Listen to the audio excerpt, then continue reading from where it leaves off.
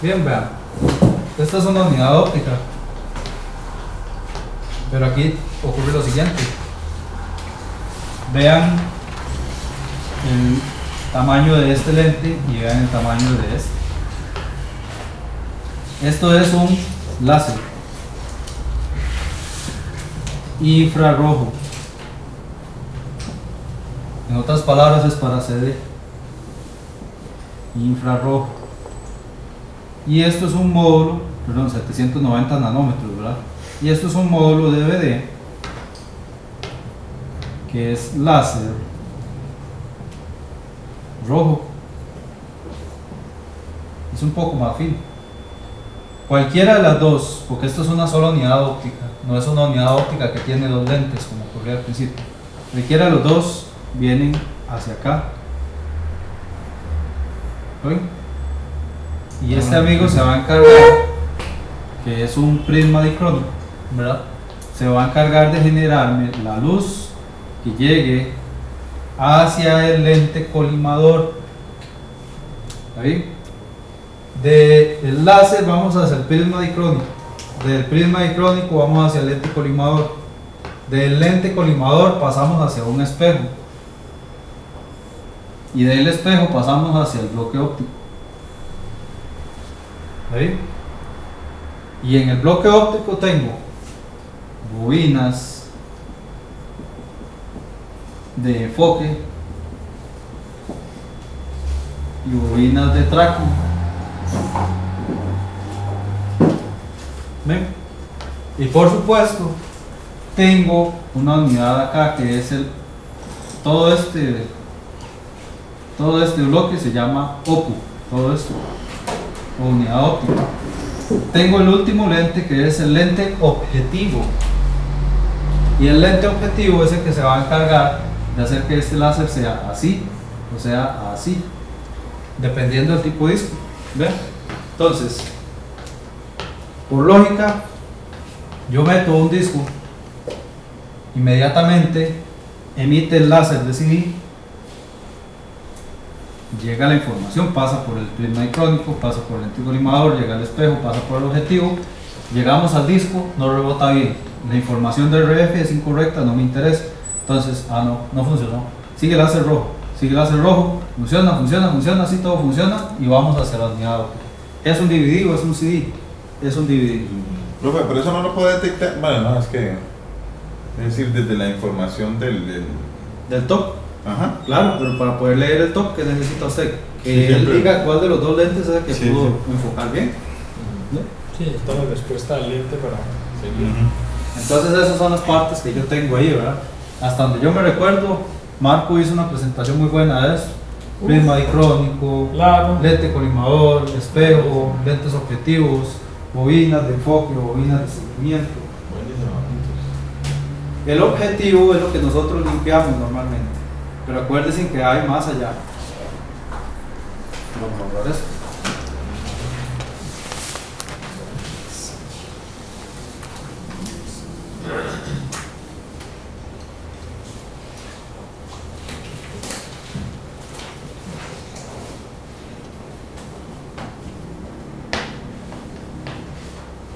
Me acuerdo de una forma de una vaca, así era.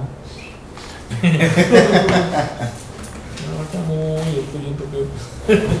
Nada que ver. Sí, No no. me canta ese, pero. Y eso que le está tirando digital. con esa canción. Eso es como el chiste. Como Pero el si le está chiste, tirando digital. Ya que las pérdida. como el chiste de Richard es. Pero Muchas gracias, aquello. No me escucha gente que canta que, que lo canta en digital, ¿verdad? profe? Sí, No, si no viene feria de tecnología, lo saca. Pero no es Sí, sí. este. ¿Cómo es que se llama el material? No digo la fe. No, es como un material como transparente, es como un plástico. pues, sí. Ah, no. Sí, es un. y bien, vamos a ver. Vamos. Esto ya lo repasamos, nada más fácil, rapidísimo. Es.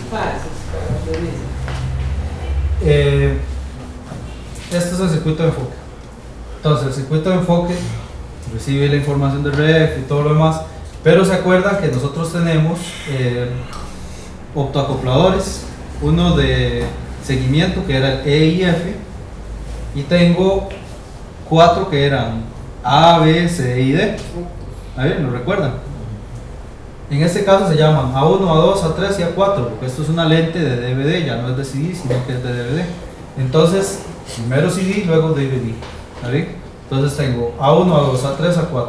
Y para DVD, B1, B2, B3 y B4. ¿De acuerdo? Entonces, el frontend va a recibir la información para enfoque donde todas las porciones tienen que ser iguales. ¿De acuerdo?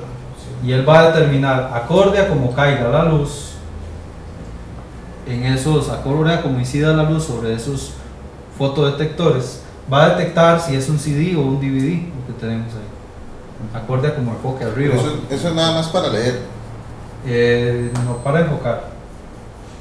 Esta información se va a procesar, va a ir al procesador de servo, se va a esperar que se cierre la bandeja, se va a tomar control del microprocesador y el motor drive se va a encargar de ajustar el enfoque acorde a esta información. ¿Está bien? ¿Se acuerdan? Enfoque hacia arriba, hacia abajo. ¿Está bien? Y acuérdense, enfoque perfecto, disco alejado y disco cerca. Primera presentación de curso, ¿verdad? Primer video.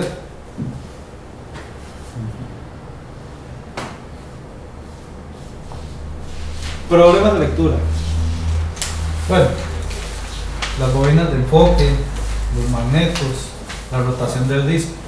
Pero vean aquí donde aparece B1, B2, B3, B4. ¿Verdad? El disco está muy cerca, el disco está muy lejos, es disparejo, ¿verdad? Para que esto funcione bien estamos tomando A1 con A2, A3 con A4 por igual. ¿De acuerdo? ¿Estamos bien? Entonces, eso quiere decir que aquí yo tengo que el disco está muy lejano y aquí está muy cerca. Porque lo que es B1 y B4 no se está tocando. Muy poco para A1 y para A2 comparado, y A4 comparado con A2 y A3. ¿Lo ven? Entonces la RF me indica a mí que yo tengo que mover estas bobinas para ajustar el enfoque. Ahí, lo vimos en la primera presentación. ¿Cómo detectar problemas de lectura? Esto es muy poco usado por los técnicos. Casi ninguno se dedica tan, tan a fondo con un, con un DVD. Pues los DVDs ahora valen 30 mil colones.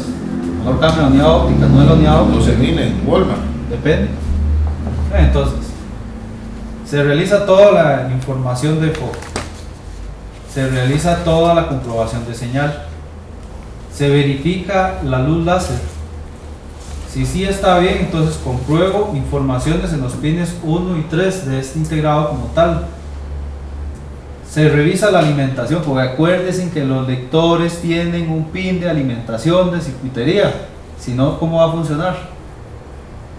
Es muy interesante porque usted le dice a muchos técnicos que le diga si revisó los voltajes de alimentación del lente, o saben que eso existe. No sé por qué lo ignoramos a veces, pero eh, hay que aprender un poco de metodología.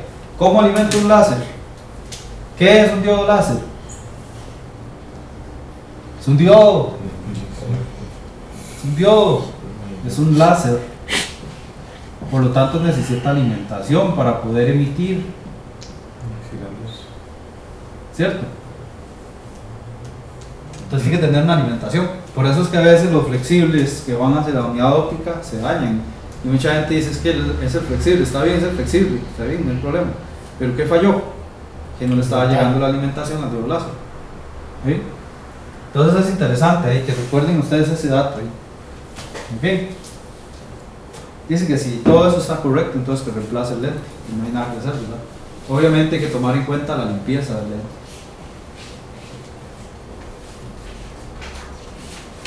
Circuito de seguimiento, en inglés tracking.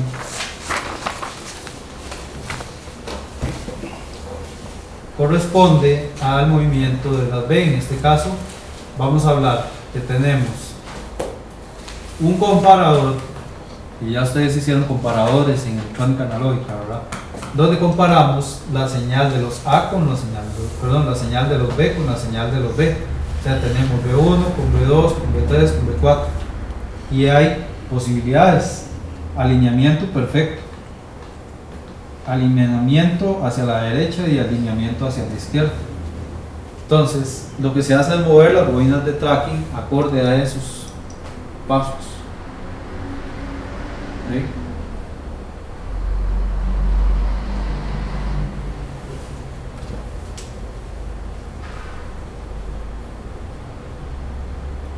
Aquí hay un ejemplo de cómo detectar problemas de lectura por efectos del tracking. Aquí está el motor de Travers. Ustedes saben que el Travers tiene que ver con el tracking, ¿verdad? Y tengo el tracking coil drive, que es el manejador.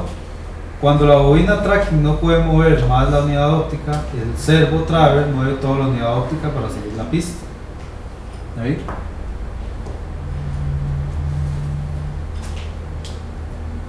Tengo simplemente una circuitería en el servo digital procesador, la cual se va a encargar de ir dándole el seguimiento y el giro, perdón, y el giro no, y el movimiento de la unidad óptica sobre eh, la traversa del disco, sobre el traver del disco.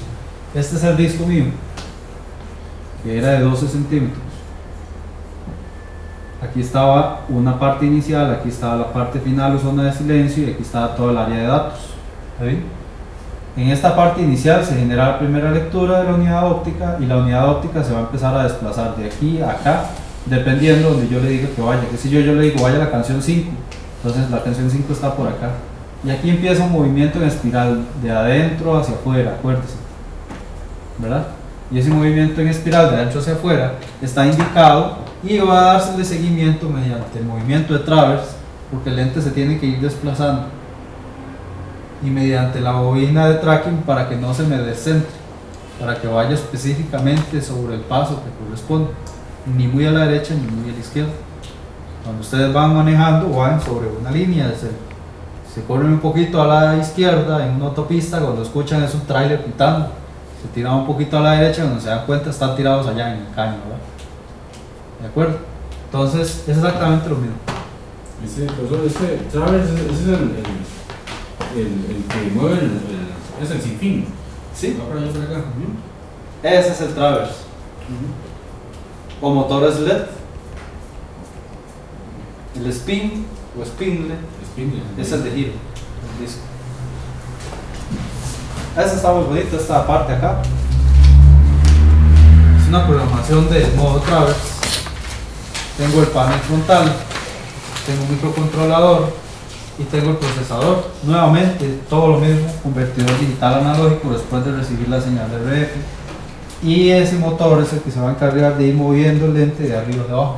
Una prueba muy común que se hace cuando tenemos dudas sobre la parte de circuitería electrónica es coger el lente y tirarlo hasta atrás. Recuerden que el lente empieza la lectura del top que está en el centro hacia afuera. Si yo lo tiro hasta atrás y eso está funcionando bien y este motor está funcionando bien, el lente se va a ir a tirar hasta el centro, va a topar con el fin de carrera y va a empezar la lectura de. ¿Ahí? ¿Qué significaba top? Información inicial que define el disco. Tabla de contenidos. Ya es la información inicial, pero la información inicial está contenida en la tabla de contenidos. Que ese es el verdadero significado de top. Se ve el circuito de tracking. CD, DVD, ¿verdad? Información servo, main procesador. Y aquí está todo el proceso, este motorcito que se va a mover ahí. Acuérdense de los sensibles que son, ¿verdad?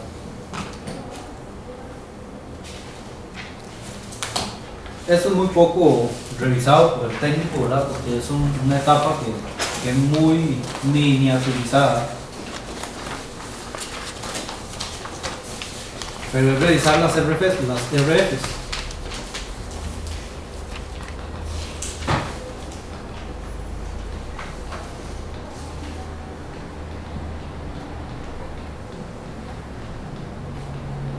niveles de corriente directa que podemos observar, digamos, a la hora de manejar la parte de enfoque, la parte de seguimiento.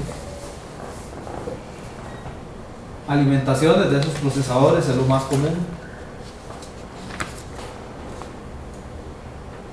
Y básicamente con eso cumplimos lo que es el diagrama de bloques de, de un DVD. ¿Está bien? Vea que vimos enfoque, seguimiento, audio, video. ¿sí? Y aparte de eso, la parte de las lentes. ¿sí? Muy sencillo. Profe, no me explicó el problema de un disco, eh,